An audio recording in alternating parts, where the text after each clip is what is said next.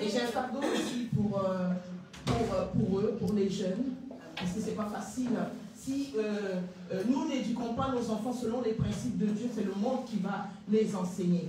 Et j'ai vu que ces enfants avaient fait le choix de, de- de tourner dos au monde. Et merci pour le pasteur Noé qui m'a vraiment aussi vraiment touché quand je l'ai vu. Annick aussi et, et tout le monde. Je me suis dit, waouh Seigneur, voilà, vraiment la jeunesse euh, euh, c'est- a compris que tu es vraiment euh, ce verset qui me montre au cœur, c'est euh, Jésus-Christ est la pierre angulaire de prise, solidement posée à Sion. La personne qui le prend pour appui n'aura jamais hâte de fuir. Donc jeunesse, vous avez fait le bon choix, vous avez pris la pierre angulaire de prise, vous n'aurez jamais hâte de fuir. Alléluia. Et la jeunesse m'a vraiment touchée. Et une église qui a beaucoup de jeunesse, je pense qu'il y a la vie. Pasteur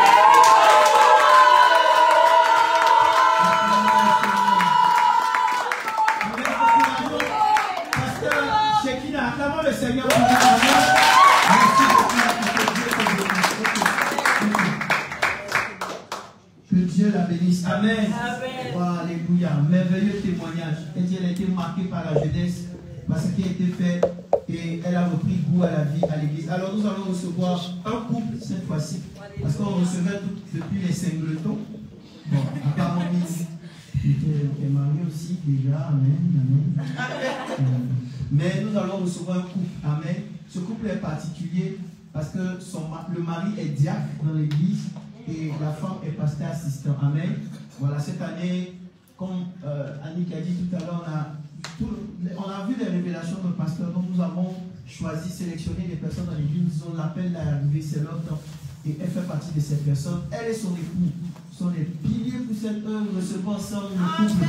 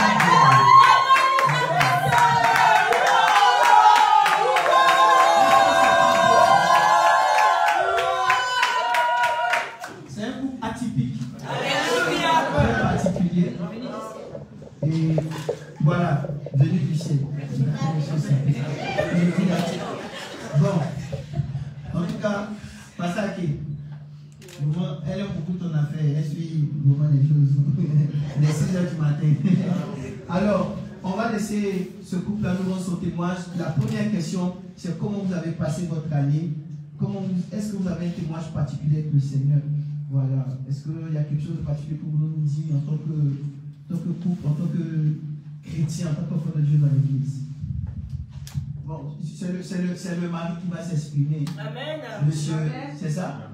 Voilà. Monsieur Bélan Christophe.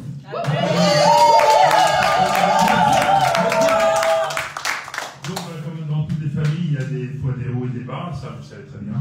Donc, euh, bah, on a traversé l'année, euh, voilà, on est là. on, est, on Voilà, on a eu des attaques, comme, comme tout le monde, on a des attaques, on a aussi heureusement des bénédictions.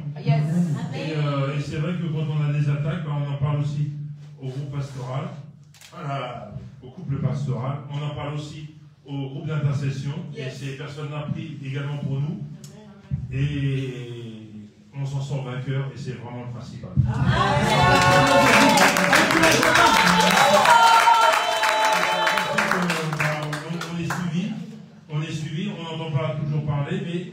sait que quand on a besoin, vraiment on peut compter sur vous et merci.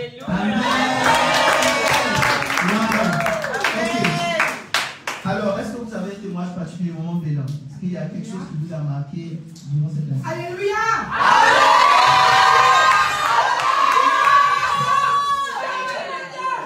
Maranatha Jésus revient Maranatha Jésus revient Merci encore, Jésus va venir.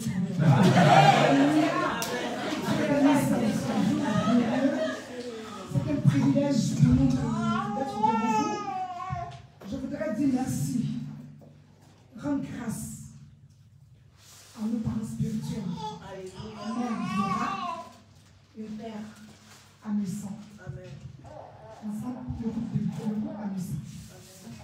Pour dire quoi Dieu est bon. J'aimerais simplement dire merci au Seigneur. Lui dire merci d'un grand cœur. Je suis reconnaissante sur ici. Pourquoi Je suis vivante. D'autres choses sont passées. Beaucoup de choses sont passées. Mais la seule chose que j'aimerais retenir, il dit, ses compassions ne sont pas épuisées. Alléluia. Elles se renouvellent tous les jours. Elles se renouvellent tous les jours. Pour toi qui es fils et fille de Dieu. Je ne parle pas d'enfants de Dieu. Je parle de filles et fils de Dieu qui ont reçu de l'héritage. Accepté comme Seigneur et, et Sauveur. Amen, amen. J'aimerais dire merci au Seigneur. Dieu a tellement fait. Il a fait. Si je peux dire quelque chose, figurez-vous que vous connaissez mon histoire. J'ai perdu mon père, désespéré. Deux ans, on m'a dit huit mois dans, dans, le chômage pour des problèmes de santé. Mais regardez ce que le Seigneur va faire. Alléluia. Est-ce que quelqu'un peut dire Alléluia? Alléluia. Alléluia. Vous savez, on va vraiment faire le Dieu. Moi, je suis une évangéliste. Dans le. Amen. Quand on vous dit de faire l'œuvre de Dieu, il faut faire l'œuvre de Dieu. Alléluia. J'ai eu un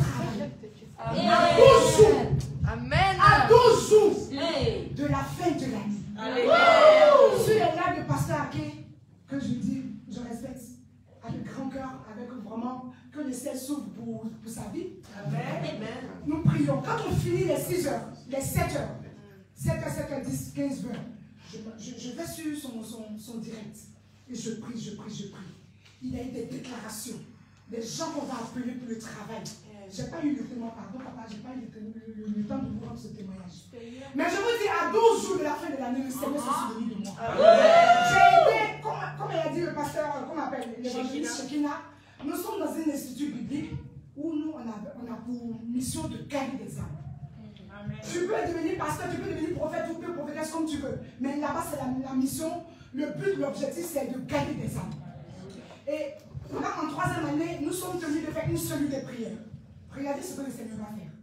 Je vais appeler une de mes filles qui est dans mon quartier, un peu, oui, dans mon quartier quelque part. Et je vais lui dire que j'aimerais que tu fasses partie de. Est-ce que tu aimerais faire partie de la cellule de prière que je vais faire, de, cellule de maison que j'aimerais faire? Elle m'a dit, maman, il n'y a pas de problème. J'appelle 2, 3, 4 personnes, il n'y a pas de problème. Et pendant que nous parlions, je lui demande, mais au fait, tu travailles où toi? Elle dit, mais je travaille à l'hôpital. Je dis, ah, à l'hôpital? Ok, d'accord. Bon, ils n'ont pas besoin de quelqu'un là-bas. Elle dit, maman, si, là, même là, c'est la fin de l'année. Donne ton CD. Je. Elle me dit, je t'envoie mon mail, tu, je, et puis tu, tu, tu, tu m'envoies ton CD. Cellule de maison.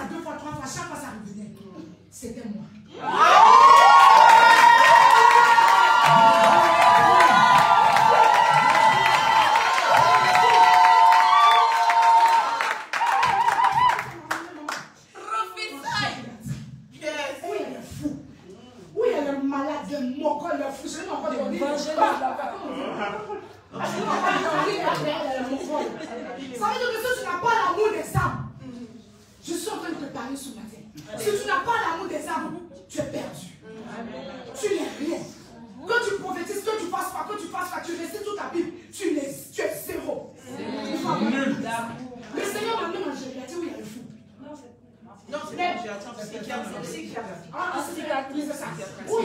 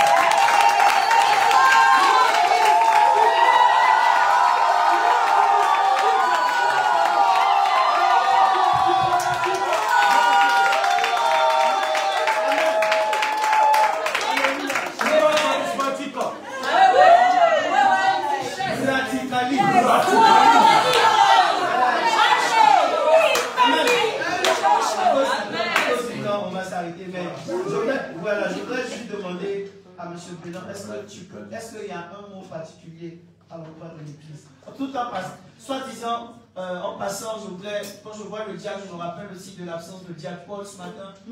Nous voulons penser à lui qui est à l'hôpital en cette fin d'année. Que Dieu le fortifie.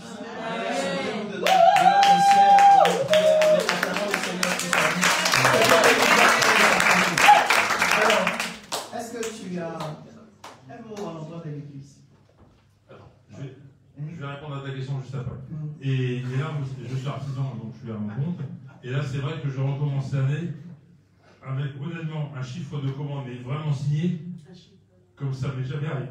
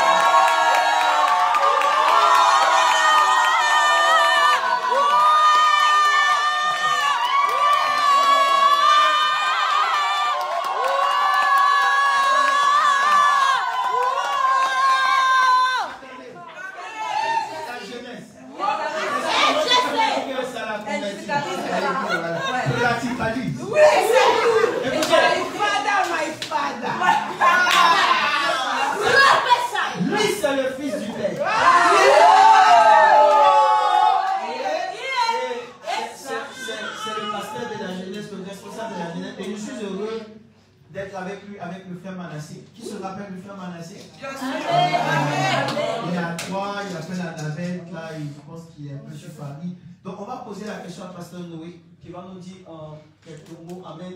Au premier but, on a entendu aussi l'une des pasteurs de, la jeunesse pastoraliste, mais on va l'écouter. Il va nous donner un témoignage particulier sur la vie de l'Église, la vie qu'il a toute cette année, ce que tu as fait. Et puis, on va écouter Manassé. C'est bon?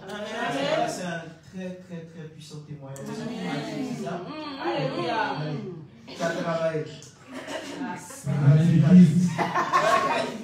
Amen, amen, amen. Amen. Qui est dans la joie d'être là ce matin. Amen.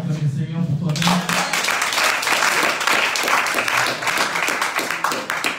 Ah, alors, l'année 2020.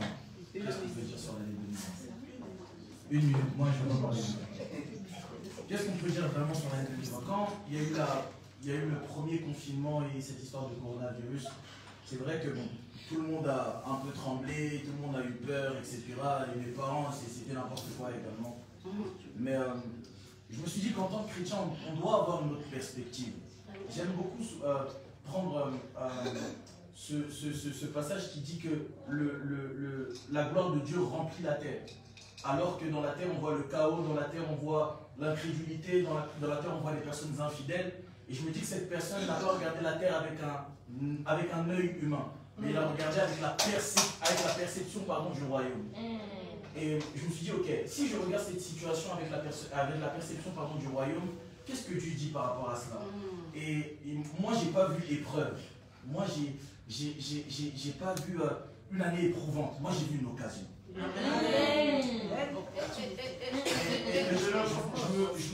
Je, me souviens encore une fois de plus dans la Bible, à chaque fois que Dieu voulait faire quelque chose de grand, et on le voit même lorsque les, apôtres se sont enfermés dans la chambre haute avec ces, avec femmes et toutes ces personnes. Euh, je ne pense pas qu'ils étaient dans la liberté de sortir. Ils avaient reçu une prescription, c'était d'attendre l'Esprit de Dieu. Et ils étaient confinés dans cette chambre. Et à partir du moment où l'Esprit de Dieu sont descendus, ils ont fait des nations des disciples. Et je crois que le confinement qu'on a eu à vivre nous prépare pour quelque chose de glorieux. Alléluia. Amen. Voilà. Voici le frère Manassé, comme je, l'ai présenté tout à l'heure. Voilà, nous l'avons connu par la jeunesse, par Nick et Noé aussi. Et c'est le frère de notre soeur aînée, Laurie. C'est son grand frère. Voilà, donc il a un témoignage. En une minute, le frère. Alléluia. Bonjour à tous. C'est vraiment court. Voilà, c'est un grand témoignage, mais je vais être court, je vais être concis.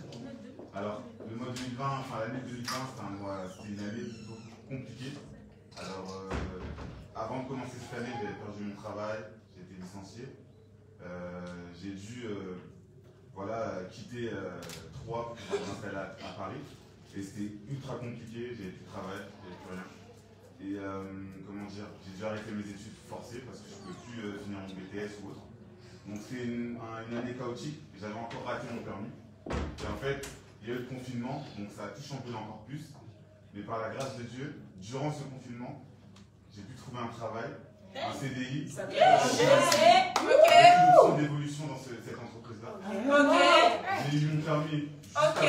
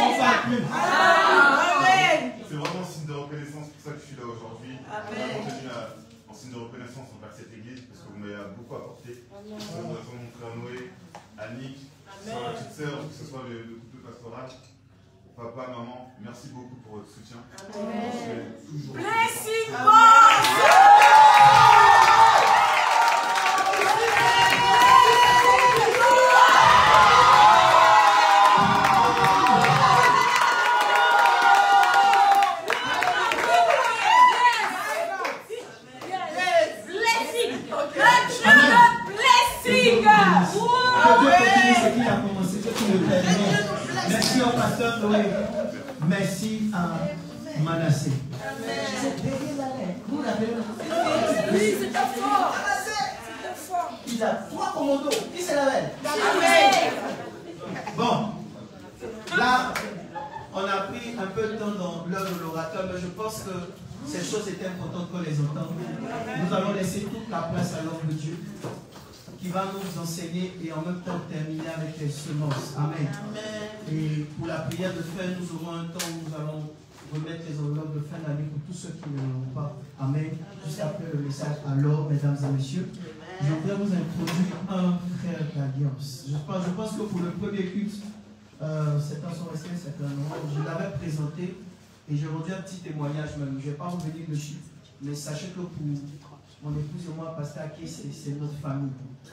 Pasteur je le connais depuis 20 ans, donc 2021, ça va faire 21 ans pratiquement. Pasteur j'ai vu comment le niveau de l'œuvre de Dieu s'aimait. Aujourd'hui, il est papa d'une église qui compte plusieurs branches, papa de beaucoup de pasteurs.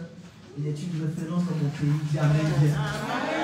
Un homme d'exploit et un enseignant émérite dans l'œuvre de Dieu.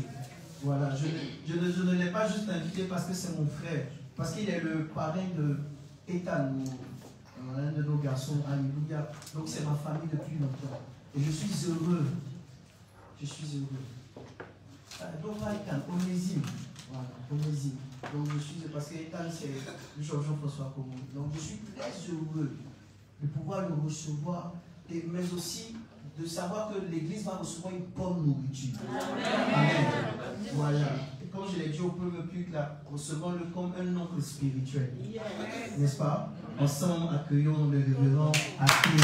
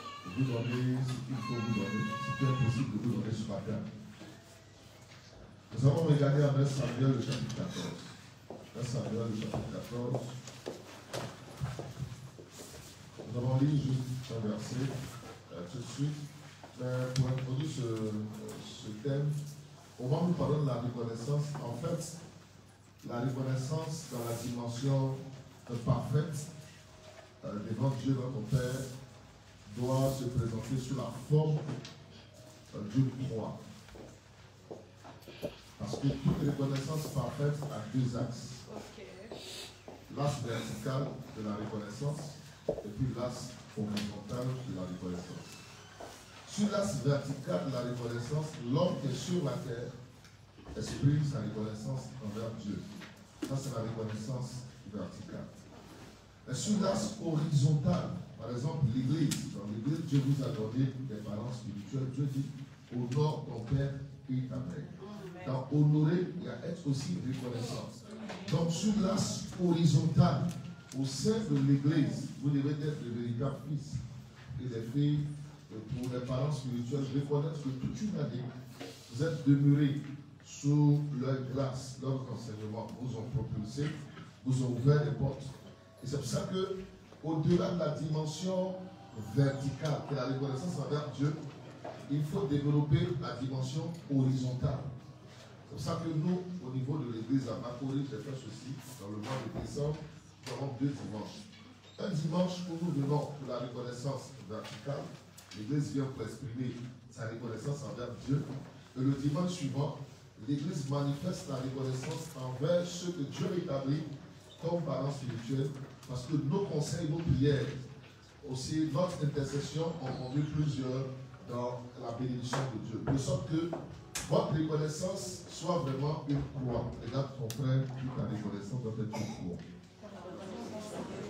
La croix de la reconnaissance, faut deux axes pour avoir la croix.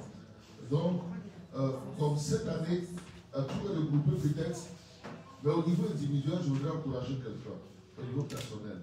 Vous avez des parents spirituels merveilleux, formidables, qui ont été bénédiction pour vous par leurs prières, leurs conseils. Au-delà de ce qu'on fait, et que je, comprends que la reconnaissance verticale aller plus loin et manifester à titre personnel la reconnaissance horizontale. Venez voir l'homme de Dieu, venez voir son épouse. Dit, papa, maman, je vais apporter ce acte, cette offrande, ce cadeau, ce présent, ce don, comme une offrande pour te dire merci ministère qui a une bénédiction pour moi. C'est important. Vous savez que Pierre n'a pas prié pour tout le monde à genoux. Pourquoi Pierre a prié pour ta vie à genoux? Parce que ta vie t'a su rentrer dans le cœur. C'est pas pour tout le monde prie à genoux. Il y a des gens qui prient pour eux debout. Il y en a vous mettez à genoux pour prier pour eux. Parce qu'ils savent être reconnaissants, ils apprécient votre ministère, ils savent saisir la grâce et vous leur donnez le meilleur. Le meilleur. Il y a des gens, quand tu pries pour eux, tu, tout ton être est envie qu'ils soient bénis. Il y a des gens, quand vous priez pour eux, qu'ils soient bénis. Ce n'est pas la même chose.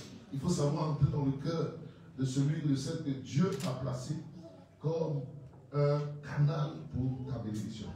Alors ce matin, on va découvrir une histoire sur la reconnaissance avec Saül et comprendre que, en fait, Saül n'est pas le modèle même de la reconnaissance. Et je vous expliquer en fait que Saül n'était pas plus fautif que David quand Saül a été rejeté par Dieu. C'est pourquoi Saül a été rejeté et pourquoi David n'a pas été rejeté. Et pourquoi quand Jésus sort de l'eau du baptême, le Saint-Esprit descend sur, Jésus, sur lui sous la forme d'une colombe. Pourquoi la colombe? Et pourquoi le Seigneur dit, j'ai ordonné au corbeau de nourrir Élie près du colombe de Pourquoi? Autant de questions qui vont nous introduire dans la dimension profonde de la reconnaissance. Nous disons 1 Samuel 14, verset 35. Saül bâtit un hôtel à l'éternel. Ce fut le premier hôtel qu'il bâtit à l'éternel. Pour votre information, normalement, quand on dit le premier, normalement, on doit avoir le deuxième. Et donc, quelquefois, le troisième. Si on va dire qu'il a bâti, on va dire qu'il a bâti un hôtel à l'éternel. Si la Bible dit le premier, c'est qu'on attend pour le deuxième et pour le troisième. Mais pour votre information, Saül a bâti le premier et le dernier hôtel. Le premier hôtel de Saül a été en même temps son dernier.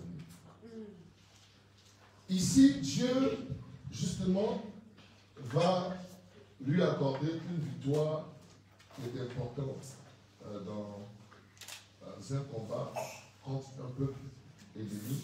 Et euh, Saül, justement, va pour exprimer sa reconnaissance envers Dieu, parce qu'autrefois, les gens exprimaient leur reconnaissance envers Dieu en bâtissant des hôtels. Tout à l'heure, à la fin du premier culte, j'avais expliqué le sens de cela. Dans leur entendement, Dieu, le véritable, il est le Dieu des cieux. C'est ça qu'il avait dit, le Dieu des cieux nous donnera le succès. Pour faire le distinguo entre le Dieu des cieux et les autres dieux qui sont des dieux terrestres. Et l'homme qui est sur la terre, qui veut exprimer à Dieu sa reconnaissance pour un acte de Dieu fait, il construit avec des pierres ce qu'on appelle un hôtel. Et sur l'hôtel, il offre un animal qui est sacrifié et l'odeur est transportée par le vent jusque dans le ciel pour que le Dieu des cieux puisse sentir l'odeur. Puisque je ne peux pas monter avec lui, avec l'animal. Je ne peux pas monter avec l'animal auprès du Dieu des cieux. Donc je faire monter l'odeur. C'est pour ça que Dieu n'a pas changé. Jusqu'à aujourd'hui, l'odeur monte. Jusqu'à aujourd'hui, l'odeur continue de monter. Alors, donc, ceux-là pour qui Dieu agissait, ils avaient pour principe de bâtir l'autel. Je dis merci à Dieu. Et ainsi l'odeur montait jusqu'au Dieu des cieux. Abraham a bâti l'autel, vous allez voir dans la parole de Dieu. Isaac, vous allez découvrir d'autres personnes. Mais Saül, ici, quand Dieu va l'établir, Dieu va être avec lui. Son, son règne au départ n'était pas accepté par tout le monde. Et Dieu va donner euh, de vaincre, d'avoir une victoire sur un poste de Philistin. Les Philistins, en ce moment, était l'armée, une armée très puissante. Vaincre les Philistins n'était pas donné. C'est comme une petite nation qui arrive à vaincre une grande nation puissante aujourd'hui. C'est comme si vous arrivez à vaincre un peuple très puissant aujourd'hui. C'est comme la Côte d'Ivoire qui arrive à vaincre les États-Unis sur le plan militaire. C'est pratiquement pas possible. Dieu était avec lui et Dieu lui a donné la victoire. Alors, pour montrer à Dieu que la victoire ne vient pas de lui, mais de Dieu, il va bâtir son hôtel. Pour dire merci au Seigneur pour la grâce que Dieu lui accorde de remporter la victoire. Juste après, Dieu va donner une deuxième victoire sur les Amalécites, sur un deuxième peuple des Amalécites, en 1 Samuel 15. Et c'est là que l'histoire devient intéressante. 1 Samuel 15, regardez avec moi. Donc, à l'occasion de la première victoire, il a bâti le premier hôtel. Dieu t'a délivré une fois, tu as bâti le premier hôtel. L'hôtel est permanent. En 1 Samuel, Elkana, chaque année, se rendrait à Silo pour offrir le sacrifice annuel, le sacrifice de reconnaissance. En fait, même la reconnaissance, elle doit être permanente. Vous savez, ce n'est pas forcément en fin d'année. Ça, c'est la reconnaissance annuelle. Mais pour les actions ponctuelles, je fais un voyage, je vais, je viens, une action de reconnaissance. Mon enfant était malade, qui est guéri par Dieu, une action de reconnaissance. Devant chaque victoire, il faut bâtir l'hôtel. Donc, la deuxième occasion pour que Saül puisse maintenant bâtir le deuxième hôtel arrive, c'est la, c'est la bataille contre les Amalécites. Amalek qui signifie ici guerrier. Dieu l'envoie justement, 1 Samuel 15, verset 7 à 20. Saül bâtit Amalek depuis Avila jusqu'à Chou, qui est en face de l'Égypte. Et quand il revient, alors il va épargner les meilleures bêtes, les meilleures brebis, tout cela, et puis il vient, Dieu dit au prophète Samuel qu'il se répand d'avoir établi Saül. Pourquoi? Samuel va à la recherche de Saül et il comprend que Saül est allé à Carmel. Et qu'à Carmel, il a bâti un monument à son honneur. Je vous expliquer en fait que Saül n'était pas forcément plus fautif que David. Vous savez que David a commis des erreurs. Mais Dieu dit que David est l'homme selon son cœur. Le secret de David, c'était la reconnaissance. David savait donner à Dieu sa gloire. Et Saül, ici, à l'occasion, en fait, il a caché la gloire de Dieu. Je vous explique. Première victoire contre les Philistins, il a bâti un hôtel. L'hôtel, c'est quelque chose qui est fait avec des pierres, qui n'est pas si visible. Mais ce qui est important dans l'hôtel, les hommes ne voient pas forcément la grandeur, mais c'est l'odeur qui monte. Le monument, quand vous comparez le monument de l'hôtel, c'est deux choses différentes.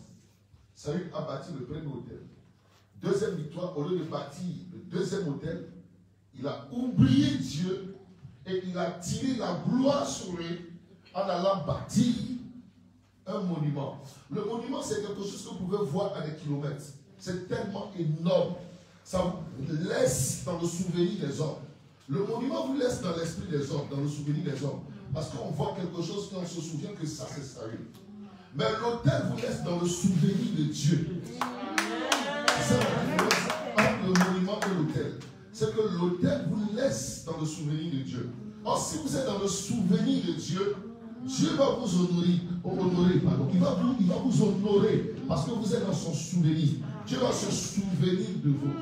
Or, le monument vous laisse dans le souvenir des hommes. Qui a fait ça? Ah, c'est sérieux. Ah, le grand, ah, sérieux, il a eu la victoire. Ah, ok, sérieux. Mais Dieu ne partage pas sa gloire. Vous comprenez? Dieu, il ne partage pas sa gloire. Écoutez-moi, aimés frères et sœurs la foi. Aujourd'hui, nous n'avons pas changé. Ce que ça a fait, c'est ce que nous faisons. Quand Dieu nous bénit, Dieu donne un travail, une promotion, une ouverture, une opportunité. Qu'est-ce que nous faisons? Aujourd'hui, on partit des monuments. Le monument, c'est ce que j'investis dans mon habillement. Le monument, c'est ce que j'investis pour avoir une demeure à moi. Le monument, c'est ce que je mets pour avoir un, très beau véhicule. Ça, c'est un monument. Le monument, c'est ce qui est de l'homme. L'hôtel, c'est ce qui concerne Dieu. Le monument, c'est ce qui vous est personnel. Regardez comment nous mettons de l'argent dans nos monuments. Ton monument ce matin, peut-être c'est ta coiffure. Ton téléphone. Regarde quelqu'un dit quel est ton monument ce matin. Alors écoutez, Dieu ne vous empêche pas de bâtir des monuments. Dieu ne t'empêche pas de bâtir des monuments. Mais n'oublie pas, n'oublie pas. Voilà, parce que ça c'est Dieu. Tu peux bâtir des monuments, mais n'oublie pas l'autel. Et justement, Saül a oublié l'autel et il allait bâtir un monument. Dieu dit à Samuel, va lui dire que je le rejette.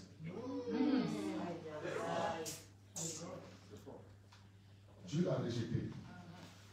Pourquoi? Parce qu'il a oublié Dieu. Mais vous savez que David a commis plus de péchés que Saül. Le problème de Saül, c'est que quand vous lisez en 1 Chronique 13, durant le règne de Saül, Dieu a été oublié en Israël. L'âge d'alliance, par exemple, qui était à déjà terrible, dans le territoire des Philistins, été oublié.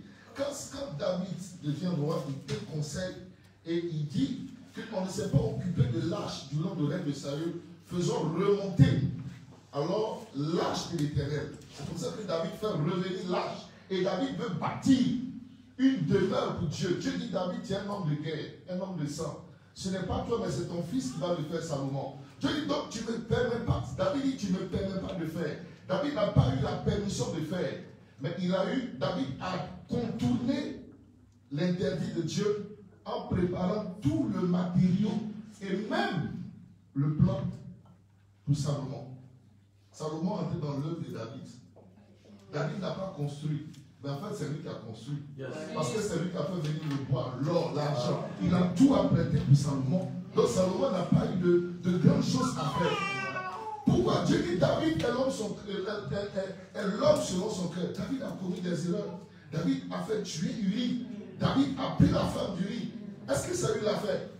Mais David, son secret, il savait être reconnaissant à Dieu et il savait toucher le cœur de Dieu par ses actes et par ses œuvres. C'était le secret de David. L'homme selon le cœur de Dieu. Il était un adorateur. Il a composé des sons pour glorifier Dieu. Bien aimé, vous savez, l'autel vous laisse dans le souvenir de Dieu. C'est parce que David était dans le souvenir de Dieu. Mais Salomon, Salomon a continué dans cette pensée.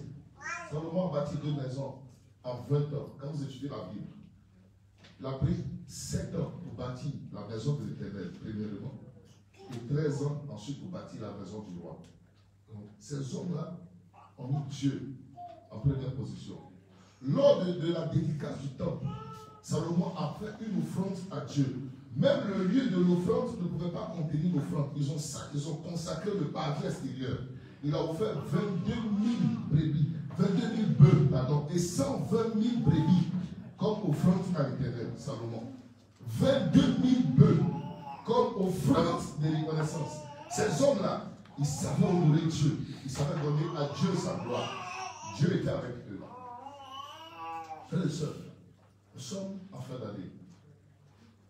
Est-ce que nous pouvons être reconnaissants envers Dieu? Savoir toucher le cœur de Dieu. Cette fois, Dieu est ton niveau, regarde. Dieu sait ce qu'il a fait pour nous. Mais à l'heure de la reconnaissance, c'est pour ça que je vois, donne-moi une enveloppe s'il te plaît. On m'a dit, donnons notre offrande de reconnaissance à Dieu. On va, et comme ça, on met l'offrande et qu'on vient donner au Seigneur. C'est pas comme ça.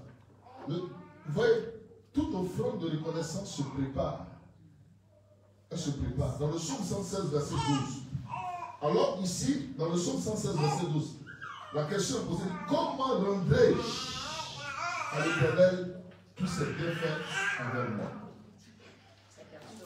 Quand tu as une offrande, quand tu dois apporter au Seigneur une offrande de reconnaissance, Regarde ton frère, dit la question comment. Tu dois avoir la réponse à la question comment. Comment? Parce que un acte de reconnaissance n'est pas un acte banal. Ce n'est pas une formalité. Quelqu'un peut prendre une enveloppe le dimanche prochain, venir même avec 1000 euros dedans. Mais ce n'est pas ce que Dieu attend. Regarde quelqu'un dit Dieu t'attend à un niveau de reconnaissance. Ce n'est pas le fait d'apporter une enveloppe avec l'offrande. Non, non, non. Mais Dieu t'attend à un niveau de reconnaissance en fonction de ce qu'il a fait pour toi. Amen. Pourquoi? Aujourd'hui, je ne vais pas enseigner longtemps, à cause du temps. Je veux donc aller vers, je pense que vous avez compris l'essentiel. Je veux aller vers ce que j'ai développé à la fin du premier culte. Toute offrande que vous apportez au Seigneur, comme une offrande de reconnaissance, on va, on va comprendre le secret ici, en Genèse, le chapitre 8.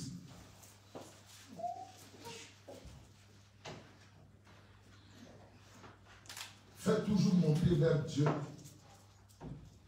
l'odeur. Le dimanche, vous apportez votre offrande de reconnaissance dans cette enveloppe. Une belle enveloppe. L'enveloppe restera.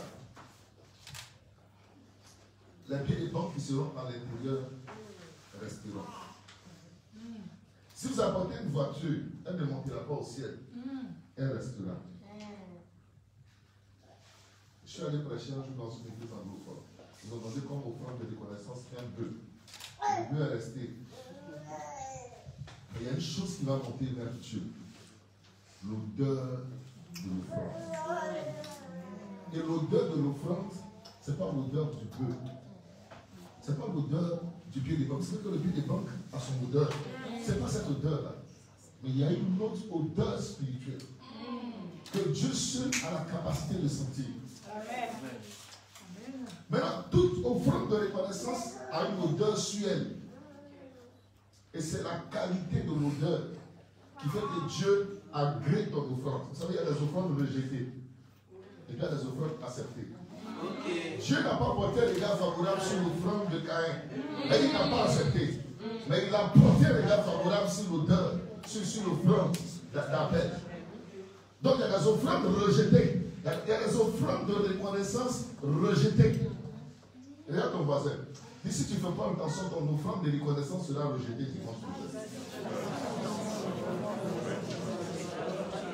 Oh, quand l'offrande de reconnaissance est rejetée, tu es mal parti pour 2021. Parce que là, là, c'est stratégique. Vous savez, le temps de la reconnaissance est un temps de qualification et de disqualification. David a été qualifié par la reconnaissance. Saül a été disqualifié pour un problème de reconnaissance. Saül. Ce n'est pas le fait n'est pas. Ce n'est pas simplement le fait qu'il ait épargné Agag et les meilleurs brebis. Ça, c'était le prétexte de Dieu. Mais la véritable raison, c'est parce que Saül n'a pas su être reconnaissant envers Dieu. On va lire le dernier verset et terminer en tenant compte du temps. Genèse chapitre 8. Après le déluge. Le déluge, Noé est resté dans l'âge avec tous les animaux. Quand vous étudiez l'âge, ils ont fait exactement un an et dix jours dans l'âge. Un an et dix jours. Après une année et dix jours, quand Noé sort de l'âge après le déluge, il comprend qu'il y a quelque chose à faire. Dans la vie, certaines fois, vous devez comprendre qu'il y a quelque chose à faire. Il regarde autour de lui, tout le monde a été exterminé. Lui a été préservé. Il y a quelque chose à faire. Ce qui a détruit les autres ne va pas détruire. Il y a quelque chose à faire. Dieu m'a protégé, il m'a gardé. Il y a quelque chose à faire. Noé, il sort de l'arche. Dans le verset 20, Noé bâtit un hôtel à l'éternel. Et le souci de Noé dans l'hôtel ici, c'était d'abord la reconnaissance. Mais il ne voulait pas donner à Dieu n'importe quelle offrande de reconnaissance. Il va prendre de toutes les bêtes pures et de tous les oiseaux purs et les offrir à l'Holocauste. Les bêtes pures. Et les offrandes que Dieu considère comme des offrandes pures. La qualité, ce qui est pur, c'est ce qui est de qualité, ce qui est approuvé, apprécié par Dieu. Et comme toute offrande d'action de grâce a une odeur, verset 21, l'Éternel sentit une odeur agréable. Il dit à son cœur, je ne maudirai plus la terre.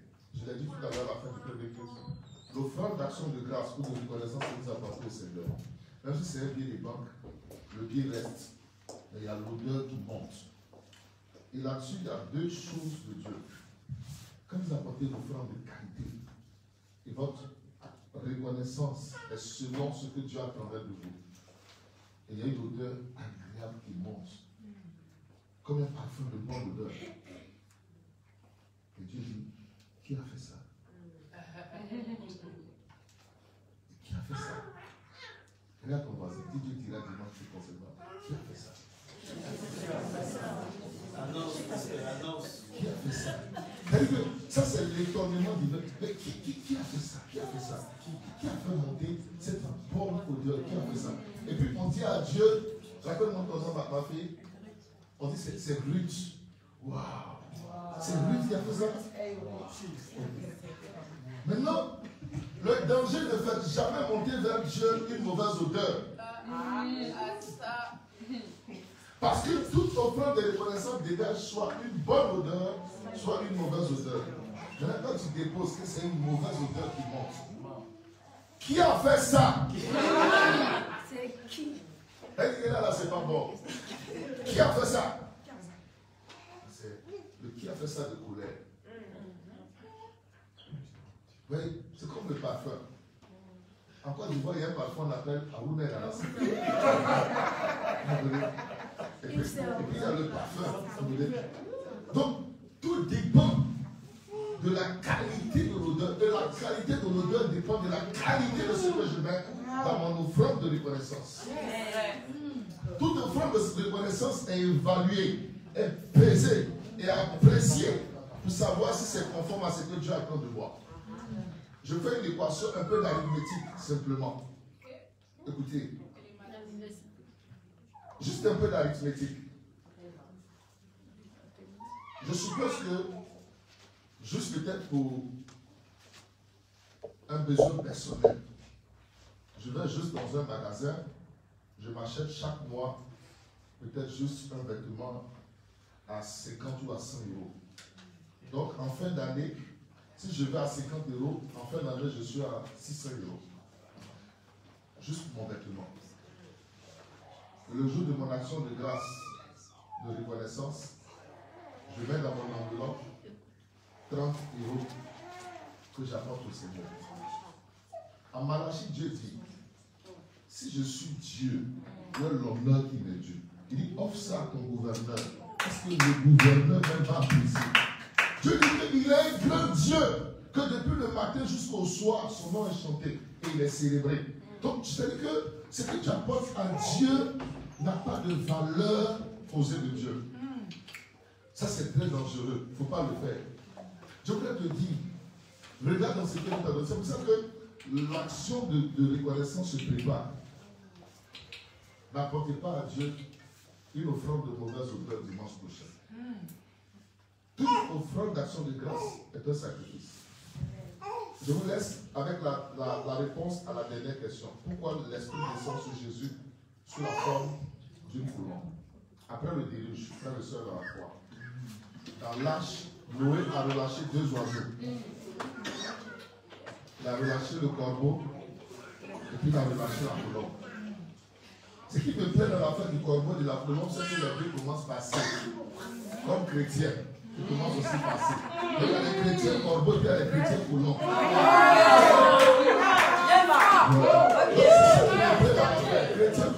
Chrétien chrétien. Le corbeau allait, est revenu, n'a rien apporté. Pourquoi le corbeau est revenu Parce qu'il n'y avait pas de place dehors? Le jour où il avait une place, il est allé, même pas de revoir, il a disparu. La colombe derrière, elle est revenue. Quand la colombe est revenue, la colombe est revenue sur le soir. C'est-à-dire que même revenir le soir, même, c'est un risque. Mais la colombe ne revient pas à vide. La colombe revient avec une branche d'olivier dans le bec. La d'olivier représente l'offrande sacrificielle que la colombe apporte à Noé. Comme dit à Noé, voici mon offrande de reconnaissance que je t'apporte. Dès lors, Dieu choisit la colombe comme symbole de son esprit, parce que la colombe, alors, s'est inscrit dans le souvenir de Dieu.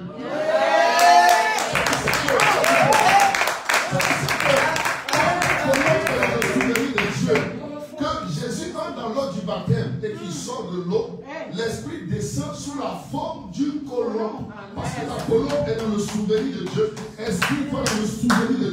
Esprit dans le souvenir de Dieu.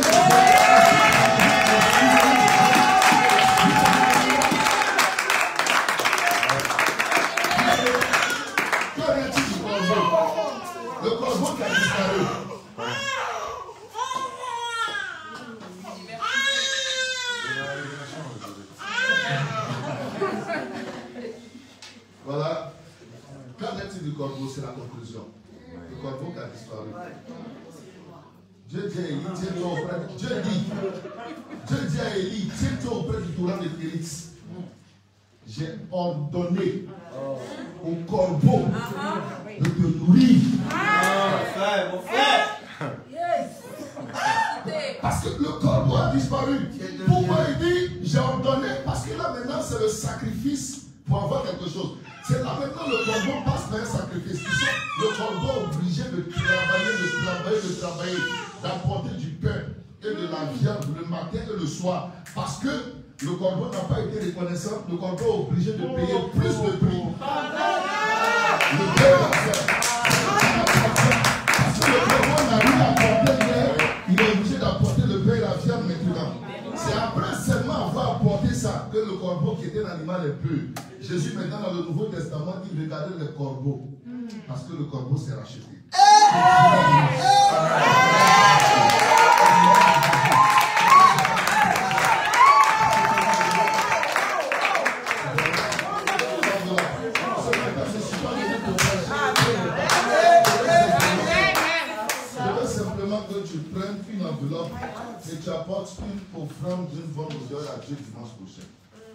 Seigneur pour la parole. Vous savez, il y a un slogan que j'aime partager avec l'église, c'est temps je dis le logos va devenir le repas. Vous savez, le logos, l'eau est importante, mais l'eau à l'état solide. C'est la glace. Je ne peux pas boire la glace. Je peux boire Je peux pas boire le logos. Il faut que le logos devienne le rema. C'est le rema là qui m'introduit dans la gloire. Alléluia. La glace, c'est l'eau, mais je ne peux pas boire la glace. J'ai besoin de l'eau. Donc, à partir du moment où Dieu t'a révélé le rema, le rema t'apporte la bénédiction. Je veux que tu fasses pour Dieu cette année ce que tu n'as jamais fait dans ta vie. Touche ton voisin. Dis le pasteur te dit que tu dois faire pour Dieu cette année ce que tu n'as jamais fait dans ta vie. Dis fais ce que tu n'as jamais fait. Ce que tu n'as jamais fait.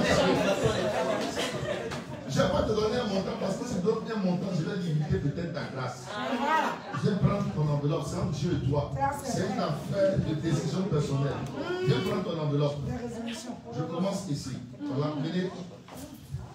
Fais pour Dieu ce que tu n'as jamais fait.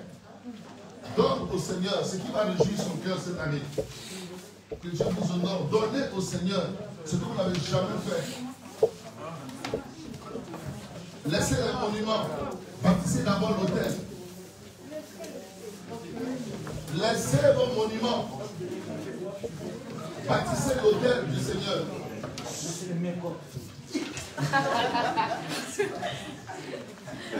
Je veux que chacun vienne prendre son enveloppe. Et si ceux qui venez, allongez à ma gauche, venez. J'ai fini, j'ai fini. On va terminer le culte. Voilà. Je sais que Dieu vous a parlé. Je sais que Dieu vous a parlé. Faites pour le Seigneur ce que vous n'avez jamais fait. Et que 2021 soit une année de grande abondance dans votre vie. Une année de gloire, de gloire, des dimensions que vous n'avez jamais expérimentées. Que Dieu vous donne d'expérimenter cela. Au nom de Jésus. Que Dieu vous bénisse. Que Dieu vous bénisse. Faites ce que vous n'avez jamais fait. Que cette reconnaissance soit différente. Qu'elle soit différente. Faites pour vos enfants. Vous savez, les enfants, posez l'acte pour vos enfants. Prenez une enveloppe pour ton enfant. Prends pour des enfants. Il faut le faire. Il faut le faire. Oui, si des personnes veulent prendre des enveloppes encore, ok. Voilà. Soyez bénis. Prenez des enveloppes pour vos enfants. Si vous avez des enfants, prenez des enveloppes pour vos enfants.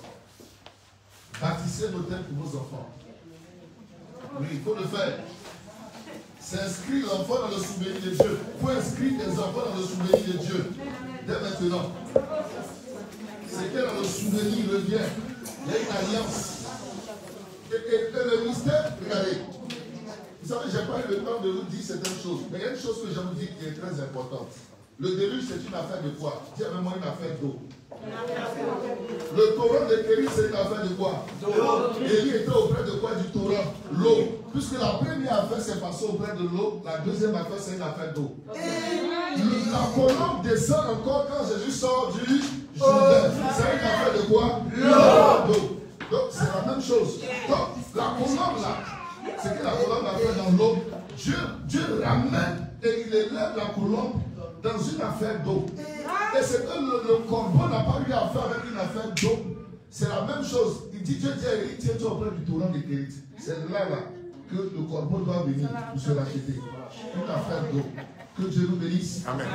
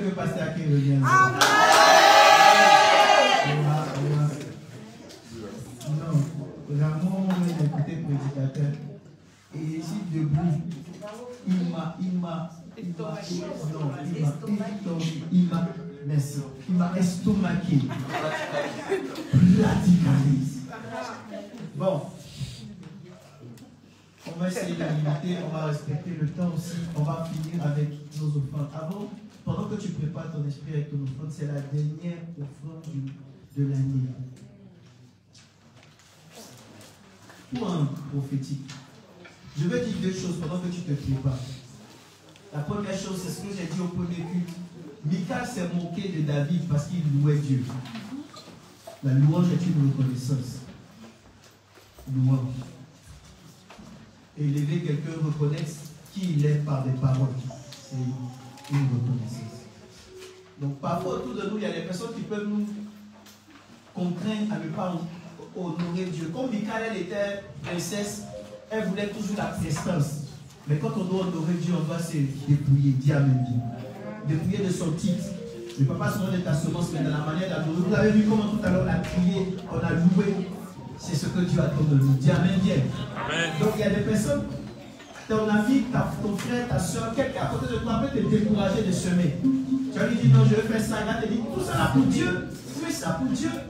Rappelle-toi que Michal, la Bible dit dans 2 Samuel chapitre 6, verset 22, elle a fini sa vie stérile. Et on comprend que c'est parce qu'elle avait méprisé la louange de David. Alors je veux ce matin que tu retiennes dans ton cœur de ne pas mépriser la louange de Dieu. Ensuite, deuxième chose, c'est le premier dimanche de l'année. venez avec un peu de blanc dans vos vêtements. Venez aussi en, sur votre 31. Voilà, parce que malheureusement pour nous, on ne pourra pas faire le réveillon de la Saint-Sylvestre. On ne pourra pas faire la traversée. À cause des mesures sanitaires, on s'est rendu compte que si on doit revenir ici, c'est à partir de 20h. Et on doit se fermer ici. Et puis en plus ça, 30 personnes là. Ce qui va rester à la maison, qui va venir. On a une église de plus de 30. Donc on est obligé, dans notre esprit, mon épouse et moi, on s'est dit, on ne va pas prendre 30 personnes, puis les autres soient à la maison. Que ça veut dire que ceux qui sont là, ils sont mieux que les autres? Non. Si un bout ne vient pas, tout le monde ne vient pas. On se retrouve le premier dimanche du mois, sapé comme jamais. Le Jack Bellon nous a dit tout à l'heure, sapé comme jamais. Premier dimanche du mois, on vient appliquer ce que le pasteur a nous enseigner. On vient être reconnaissant à Dieu. Et on vient saper. Donne-moi un amen. Amen. Acclamons le Seigneur. Alléluia. Pour ceux qui sont à la maison, qui nous ont suivis aussi, tu connais un frère, une soeur de l'église, tu peux partager avec elle précisément de pouvoir apporter ce souvenir de la maison de Dieu durant ce premier dimanche. Amen. Maintenant, c'est le dernier dimanche du mois. Quand on va finir nos offrandes pour partir à la maison, là, check ton frère, check ta soeur. Fais-lui une accolade, souviens-toi de lui. Le 31, on aura, c'est jeudi, on aura le culte normal jusqu'à 22h, on aura fini. On va célébrer, on va déclarer de bonnes paroles sur vous. Dis Amen. Mais, ceux qui sont dans le groupe WhatsApp de l'église, pour eux, les différents groupes, on va se célébrer. Tu pourras prendre une photo de comment tu es habillé, comment tu es Viens dans le de la vie, tu partages pour qu'on voit, pour qu'on, ça crée l'ambiance. Dis Amen. Voilà. Et parfois dans les groupes, on, souhaite un Noël, on dit de bonnes paroles, il y a deux, trois qui répondent, soyez plus vivants. Voilà. Dans cette fin d'année, là, soyez plus vivants. Prends les nouvelles de ton frère et de ta soeur. Montre comment la Saint-Sylvestre tu as habillé. Célébrons de Dis Amen. Alors nous allons passer à nos offrandes. Ah, j'allais oublier. Le, à partir de mardi, vous avez raté un puissant giga programme impacto démonstratif de l'onction ce samedi. C'était fort. Qui était là? Qui était là? Bon, on ne va pas l'expliquer. Sinon, on va pas vous m'expliquer. On l'explique pas. Voilà. Et, et je donne cette instruction parce que 31, on ne sera pas ensemble le, le, mardi, le mercredi, le jeudi, soit avec Ramadou, soit avec la soeur Gladys, vous prenez rendez-vous pour venir me rencontrer. Vous venez, attends, doser un peu, c'est très important que je dise ça. le mardi de 11h à 18h, le mercredi de 11h à 18h, le jeudi de 11h à 18h, il sera à l'église. Je vous reçois pour consultation prophétique. Tu ne viens pas avoir un enseignant. Toi, tu viens de comment on te dit l'année prochaine, voilà ce qu'il faut faire, voilà comment il faut faire, voilà comment ça s'est passé. Voilà ce qui va t'arriver. Mais prenez rendez-vous. Pour que je ne sois pas. Tu vois, quelqu'un va venir s'asseoir et va dire Ah, je suis venu pour voir l'homme de Dieu depuis là, j'attends. Non. On va bien caler. Dis Amen. Que ce soit harmonisé, personne n'est frustré. Mais tu viens pour consulter Dieu. Dis Amen. Et l'homme de Dieu te bénisse. Et le jeudi de 20h30 à 22h, on se retrouve pour le culte normal, mais avec bénédiction. Ce sera notre proclamation de traversée. Dis Amen bien. Que Dieu te bénisse. Et puis, Lève-toi avec ton enfant. Dieu bénisse tout le monde. Parce que l'année prochaine, là, c'est tout, tout près là. Hein. Le premier, là, c'est vendredi. Hein. Donc, c'est le, le, Est-ce que tu peux dire, est-ce que tu peux, tu peux euh, dire au revoir à 2020 Au revoir.